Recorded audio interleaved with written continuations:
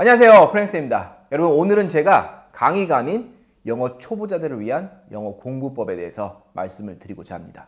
여러분 영어 잘하고 싶죠? 그러니까 이 영상을 보고 있는 거죠. 그렇기 위해서는 어떻게 해야 될까요? 자, 지금부터 영어 공부 학습에 대한 포인트를 알려드리도록 하겠습니다. 아참 그리고 이 영상 끝까지 보시면은 맨 마지막에 제가 라이브 방송에 대한 정확한 정보 언제 몇 시에 하는지를 알려드릴 예정이니 한번 끝까지 영상을 보시기 바랍니다. 영어 초보자들을 위한 영어 공부 방법은 이거 하나만 아시면 돼요. 그냥 내가 생각한 한국말을 영어로 바꾸는 능력만 키우면 됩니다.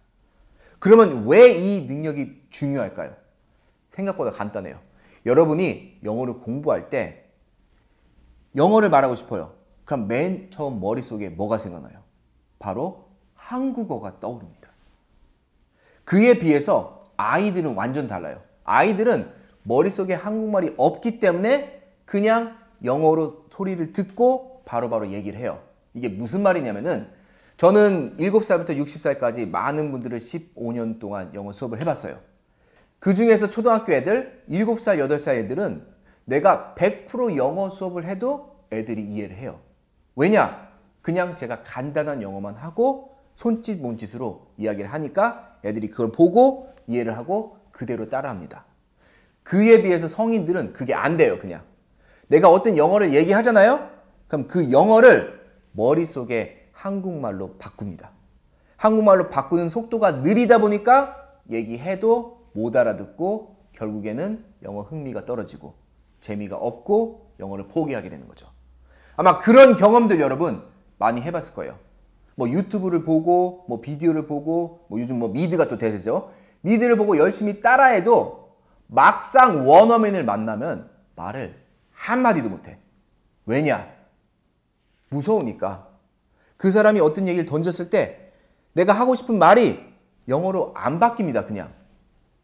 그렇기 때문에 여러분이 정말 영어를 잘 말하고 싶다. 물론 단어, 문법 다 중요해요. 그렇지만 가장 중요한 건 뭐다? 계속 연습을 하는 거예요. 내가 생각한 한국말을 영어로 바꾸는 연습을 계속 계속해서 그 상황별로 대입을 하는 겁니다.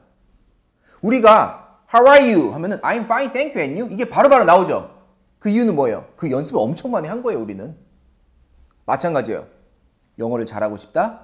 그냥 머릿속에 있는 한국말을 영어로 바꾸는 연습을 하면 돼요. 근데 여러분 제가 한 가지 질문을 던지죠. 과연 여러분 중에 몇 명이지 내가 생각한 한국말을 영어로 바꿀 수 있는 힘이 있을까요? 그거 웬만한 사람들 못합니다. 그럼 어떻게 해야 된다? 정말 체계적으로 저처럼 이렇게 좋은 선생님과 함께 하나씩 하나씩 바꾸는 연습을 하는 거예요. 그러다 보면은 어느 순간에 내가 기본적인 말은 바꿀 수 있는 힘이 생깁니다. 제 영상을 많이 보신 분들은 알 거예요. 처음에는 아, 말을 잘 못했는데 시간이 지나면서 What do you wanna eat? Do you wanna eat chicken for dinner? 뭐 이 정도의 영어는 어느 순간 딱 들리고 I want to eat pasta for lunch. 이 정도의 영어는 할 수 있는 힘이 조금씩 조금씩 생깁니다. 그런 것들이 생기면서 빨리빨리 얘기를 하다 보면은 어느 순간에 자기도 모르게 어느 정도의 영어는 하고 있는 자신을 발견하게 됩니다.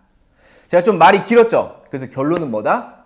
여러 가지 유튜브 또는 뭐 미드 여러 가지 공부법도 중요하지만 내가 지금까지 많이 배운 영어 지식을 이제는 어떻게 체계적으로 말을 하는 방법을 꺼내는 연습을 많이 해야 된다. 그것의 가장 중요한 포인트는 뭐다? 그냥 연습을 하는 거예요. 생각한 한국말 연습하는 거예요. 내가 한국말 쭉 던지면은 여러분은 그걸 계속 바꾸는 연습을 하는 겁니다. 그래서 제가 라이브 방송을 준비했습니다. 8월 6일 목요일 저녁 9시입니다. 그때 제가 이 라이브 카메라 앞에 딱 서가지고 여러분들한테 한국말을 막 던질 거예요. 막 던지면은 그막 이렇게 막 주워 듣지 말고 바꾸는 거예요. 저랑 함께. 이게 유튜브 방송상 서로 이렇게 쌍방향 소통이 안 됩니다.